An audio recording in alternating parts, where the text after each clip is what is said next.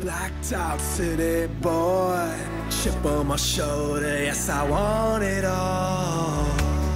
Uptown lonely girl, just trying to save the world. And all the photos on her wall of all the boys she's ever wanted. Pessoal, tudo bem? Então, o vídeo de hoje é uma tag de favoritos de 2012. É, na verdade, antes eu não tinha feito favoritos dos meses anterior. Então eu resolvi fazer um do ano inteiro, pelo menos vocês ficam sabendo que foi o meu favorito do ano inteiro. E só que daqui pra frente eu vou começar a fazer um favoritos por mês. Daí pelo menos vocês ficam sabendo o que eu usei e o que virou meu favorito, tá? Então vamos lá. O meu primeiro favorito, eu vou começar com um sabonete. Sabonete líquido, na verdade, que é esse aqui. É, ele é da Lux. É, antes eu usava sempre Dove. E aqueles sabonetes normais mesmo. Mas quando eu experimentei esse aqui, gente, eu amei. Porque assim, na verdade, eu. Dependendo do sabonete que eu uso, a pele parece que fica ressecada. Fica assim com um aspecto ruim. E com esse aqui, ele deixou assim, tipo assim, um cheiro maravilhoso. E a pele fica, tipo assim, é como se diz aveludada, né? Como se até diz aqui embaixo aqui. Aveludada. É. E, e, tem, eu também testei aquele de esse mesmo Lux de sabonete líquido, só que com óleo de macadâmia. Nossa, gente, é maravilhoso. É, eu amei ele. E só que na verdade eu escolhi, eu tô com este agora, que tem até eu usei um pouquinho. Eu comprei ele finalzinho da semana de dezembro. É, porque eu não achei o de macadâmia, mas é uma delícia, uma delícia mesmo. Eu amei e ele se tornou meu favorito de sabonete líquido. E o próximo, gente, é esse aqui, óleo, óleo corporal da Avon. Avon Naturals. Esse aqui é o morango e chocolate branco. Tem um cheiro maravilhoso, maravilhoso. E eu, eu amo óleo, passar um óleo no corpo. Tipo, você toma banho com o corpo ainda úmido, passa ele no corpo, fica assim, tipo, a pele bem suave, é, macia e, e deixa um cheiro maravilhoso no corpo, né? Esse aqui, ele também é meu favorito, usei bastante esse ano, olha. É, na verdade eu usei vários vidros, tá? Não, não deu por um ano esse aqui não. É, esse se tornou então meu favorito no corpo. Agora esse aqui, gente, olha que este. Esse aqui é o Sex Chocolate White da L'Aqua di Fiore. Esse aqui eu comprei, eu comprei não, na verdade eu ganhei no meu aniversário, que é em março. Deixa eu ver aqui. Tem um cheiro maravilhoso. Se vocês pudessem sentir, eu ia mostrar. Nossa, um cheiro maravilhoso. Eu amo esse creme, eu amo. Nossa, ele já tá até no final, olha. Mas eu usei, acho que dois, dois potinhos desse aqui no ano. E tem esse aqui. Então, dá, tipo assim, rende bastante. E é maravilhoso. Eu amei, eu amei esse cheiro aqui. Me fascina, gente. É maravilhoso mesmo. Da Lacqua de Fiore. É, ele eu, eu não vou falar valor tal, porque eu não lembro o valor que pagou. No primeiro eu ganhei, no segundo eu comprei o, ele. Será um esfoliante para os pés. É, este creme esfoliante é da Flores e Vegetais. Ó, tá até com o precinho aqui, 12,60. É muito bom. Ele é um esfoliante, tem umas pedrinhas no meio, para esfoliar bem mesmo. E tem um um cheiro muito gostoso para passar no, nos pés, para hidratar, principalmente aquelas pessoas que têm o pé meio ressecado e tal. E ele, nossa, deixa muito macio o pé, deixa muito, muito mesmo. Eu amei. Eu já testei alguns outros, assim, principalmente da Avon, e não gostei muito. Tipo assim, não dava muito resultado. Não fala assim, nossa, é horrível. Não é que não dava aquele resultado que a gente espera, deixa macio e tal.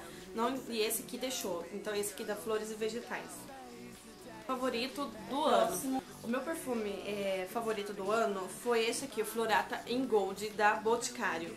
Da O Boticário, né? Esse aqui. Ele até acabou, olha.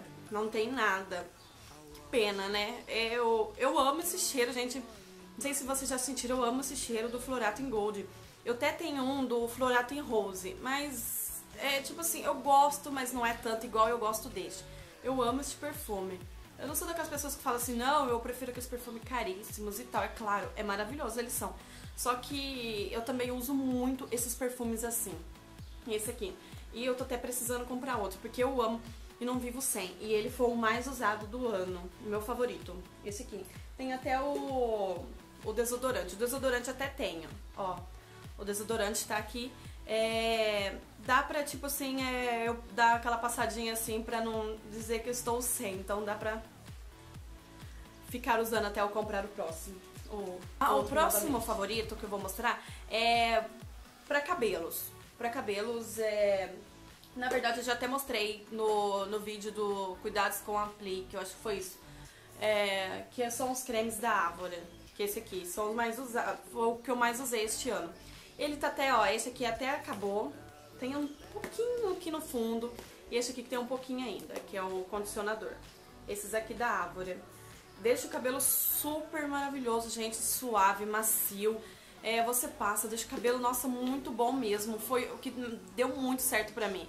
O meu cabelo, normalmente, ele não dá certo com qualquer um. Antes até dava, eu comprava qualquer creme do mercado, condicionador, dava super certo. Agora, gente, não dá. Tem uns que eu passo que meu cabelo, ó, viram... Ah, nem gosto de falar, fica horrível. E esse aqui deu super certo. Eu amei esse aqui. Junto que veio, eu comprei o condicionador, shampoo, o condicionador e o e o creme de hidratação. Este creme de hidratação é maravilhoso, deixa super hidratado mesmo.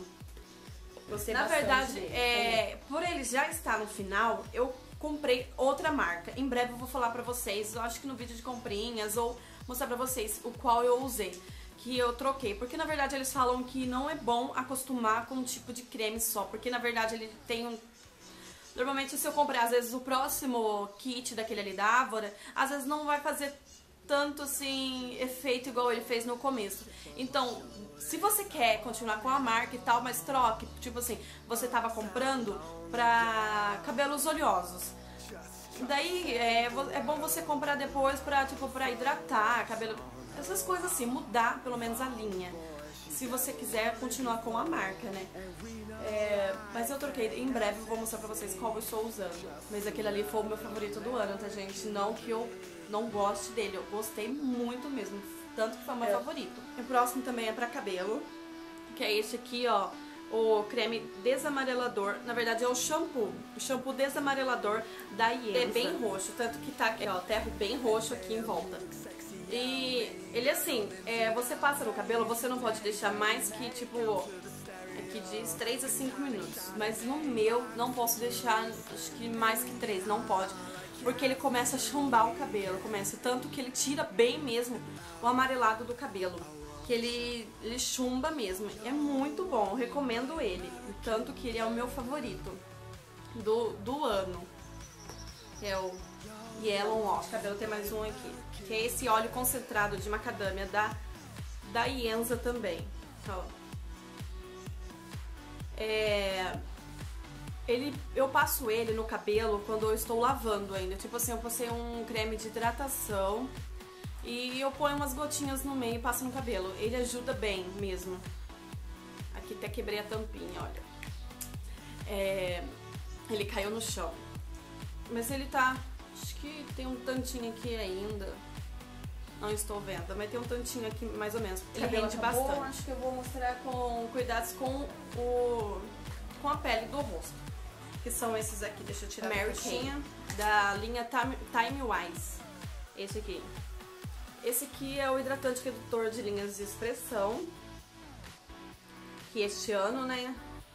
Este ano que passou, eu pensei, tipo, tem que começar a usar essas coisas, né? Porque é muito melhor a gente evitar do que depois a gente ter que ficar com aqueles negócios no rosto e tentar tirar, que não tira, só depois, sei lá, com botox, sei lá, alguma coisa assim. Limpeza 3 em 1, também da Mary Kay. É, o rosto fica super macio, gente. Eu passar ele no rosto fica super macio. Eu amei ele, amei mesmo. Vale muito a pena para quem quer testar os cremes de rosto da, da Mary Kay. Que de cuidados com a pele do rosto, acho que é só isso. Depois eu tenho alguns creminhos e tal, mas não foi assim, tipo assim, ai, ah, nossa, é meu favorito. Não, não tem, porque eu já testei vários e não ainda não deu aquele resultado que eu vou começar com maquiagem. Com maquiagem eu vou começar com esse aqui, esse primer da Avon. Avon Magics. Este primer, gente, é maravilhoso. Eu amei ele porque ele deixa a pele como se diz, ele dá um tom mais uniforme. É, tipo, tipo, para de falar tipo, né, Kate? Tipo, tipo, gente, me desculpe, porque eu repito muito, muito essa palavra. Eu não consigo parar, mas ainda vou conseguir. É, ele deixa a pele uniforme e tira aquele, aquela oleosidade do rosto. Eu já usei uns outros assim e não gostei muito. Essa aqui é a minha favorita do... A base é a base da Mary Kay, da linha Time Wise também. Ela dá um acabamento mate no rosto, assim. É, é as outras que às vezes eu passo, dá, às vezes fica assim com aquele aspecto de oleosidade no rosto, eu não gosto muito. E essa aqui ficou bem mais assim, é, tirou aqueles brilhos do rosto também. Ficou super bom, eu gostei. Ela, além dela ser, apesar dela ser bem fininha, ela dá um bom, uma boa cobertura no rosto. Pra quem, usa, pra quem usa sabe que ela é super boa mesmo. O corretivo, eu não tenho um favorito, eu não tenho.